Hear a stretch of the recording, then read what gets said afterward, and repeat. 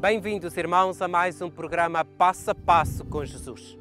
A todos aqueles que, através do sistema Canção Nova em Portugal e no Brasil, nos acompanham, nós vos mandamos uma bênção especial. Estamos no domingo da Santíssima Trindade. E o Evangelho que hoje é colocado para a nossa reflexão, o Evangelho de Mateus, convida-nos a ir até ao monte. No Evangelho de São Mateus, o monte é, de certa forma, associado ao Monte das Bem-aventuranças. E por isso mesmo trouxemos-vos até aqui, ao Monte das Bem-aventuranças, e aqui refletir sobre o mistério da Santíssima Trindade. Acompanhai-me então nesta caminhada dos passos de Jesus. Santíssima Trindade, o mistério central da fé e da vida cristã. O próprio Jesus foi quem revelou esse mistério. Ele falou do Pai, do Espírito Santo e de si mesmo como Deus. As três pessoas divinas são um só Deus, porque cada uma delas é idêntica à plenitude da única e indivisível natureza divina. Deste modo, a Santíssima Trindade é o mistério central da fé cristã e a Igreja difundiu de forma infalível o dogma da Trindade, estabelecido em duas etapas. Primeiro, no Concílio de Nicéia, em 325 depois de Cristo, e depois no primeiro concílio de Constantinopla no ano 381 depois de Cristo. No concílio de Nicéia foi definida a divindade do Filho e se escreveu parte do credo que se ocupa dele. Este concílio foi convocado para fazer frente à heresia ariana, que afirmava que o Filho era um ser sobrenatural, mas não Deus.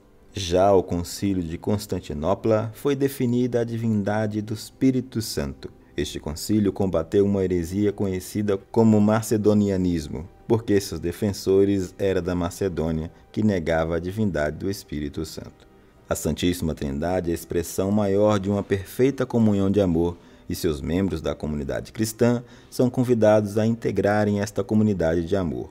Um chamado que deve expressar-se na vida comunitária e em atitudes de ternura, misericórdia, bondade, perdão, serviço e caridade com os mais necessitados. Deste modo, viveremos as consequências práticas do nosso compromisso com Deus, que é Pai, Filho e Espírito Santo.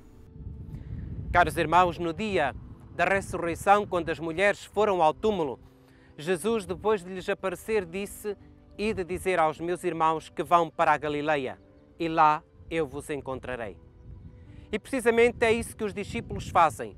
Os discípulos partem para a Galileia. Aqui, onde tudo começou, aqui Jesus também vai fazer com que a igreja comece a sua atitude de evangelização.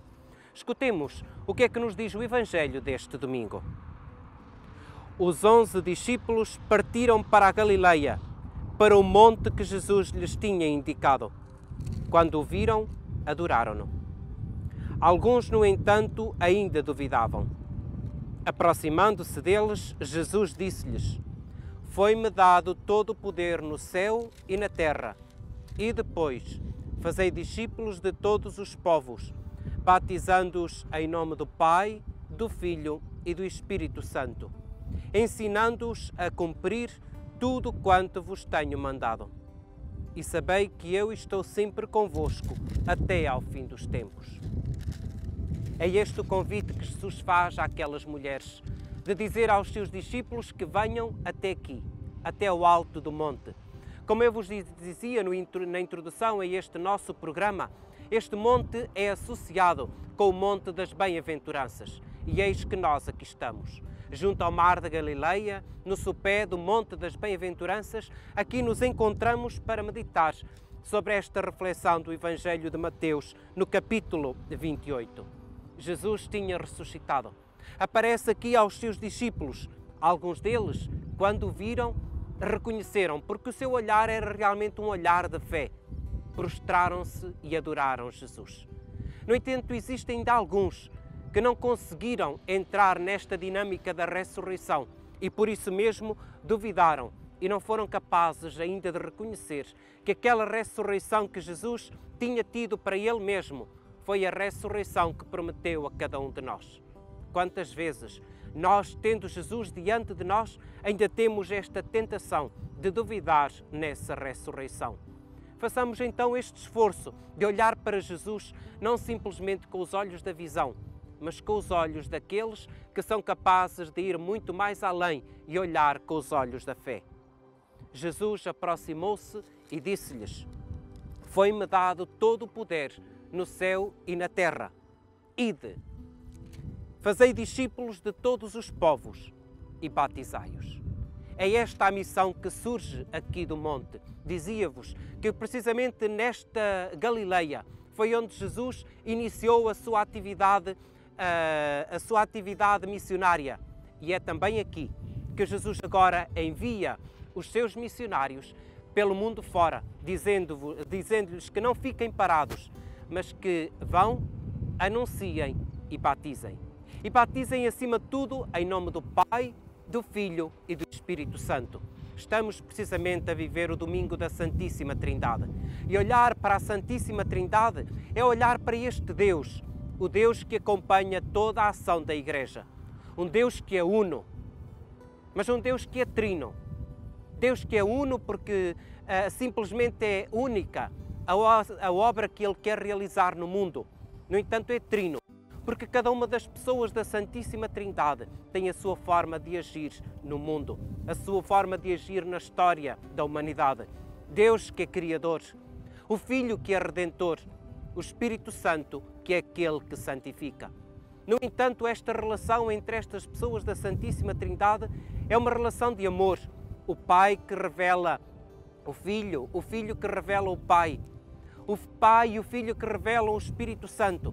E dessa forma nós compreendemos este Deus que quer ser todo ele amor, para que esta igreja viva também ela no amor. A Trindade são pessoas, pessoas que vivem esta relação quase que diria de respeito pela diferença, porque o Pai, o Filho e o Espírito Santo, cada um deles tem a sua missão, mas todos eles formam este complemento da ação operadora de Deus. Então, os discípulos, a batizarem em nome do Pai, do Filho e do Espírito Santo, estão a incluir toda a humanidade dentro desta relação de amor com Deus. Nós que somos homens, nós que somos pessoas, temos de aprender com esta Santíssima Trindade a viver também entre nós esta própria relação de respeito, mas de unidade, de diferença, mas de unidade, de diferença, mas de amor. Nós não podemos viver isolados dos outros. Então aprendamos com a Santíssima Trindade a viver esta união daquele que realmente é capaz de aprender de um Deus que nos ama. Deus é amor. Há pouco tempo nós tivemos aquelas palavras de Bento XVI que nos dizia precisamente que Deus é amor e convida-nos a amar. Os discípulos então são chamados a partir daqui, deste lugar, deste monte, a anunciar a batizar em nome do Pai, do Filho e do Espírito Santo. E a certeza de Jesus é esta: eu estarei sempre convosco até ao fim dos tempos.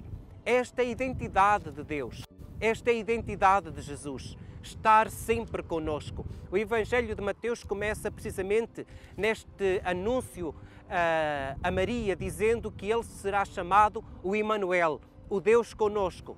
E eis que estamos a terminar o Evangelho de Mateus também com esta mesma mensagem. Eu estou sempre convosco até ao fim dos tempos. Deus não abandona aqueles que ama. Deus não abandona aqueles que cria, porque a redenção de Deus é de um Deus que está para sempre conosco e quer nos acompanhar nessa intimidade de amor. Então, aqui, no alto do monte, também o Senhor nos quer convidar, a mim e a ti que estás aí em casa, a sermos enviados. E este ser enviado não é simplesmente para os religiosos, para os sacerdotes, para os consagrados. Ser enviado por Deus a anunciar a palavra a todo o homem é uma missão que cabe a mim, mas também cabe a ti. Aí na tua casa, aí na tua igreja, aí no teu bairro, no teu emprego, és convidado também a ser destes que o Senhor envia e que nós simplesmente vamos anunciando aquilo que nos é dado como herança. E para todos vós, nesta mesma trindade que hoje professamos, que nós invocamos ao início de cada oração, quando uh, rezamos em nome do Pai, do Filho e do Espírito Santo, também agora, essa mesma trindade quer nos despedir para esta semana, abençoando-nos em nome do Pai, e do Filho e do Espírito Santo. Amém. O Christian Media Center tem a missão de levar ao mundo a mensagem da Terra Santa, a terra do quinto evangelho. Transmissões, reportagens, notícias, documentários, atualidade da igreja e da vida cotidiana dos cristãos da Terra Santa. Você pode nos ajudar nesta missão, fazer conhecer e difundir a mensagem da Terra Santa. Ajude-nos. Visite o nosso site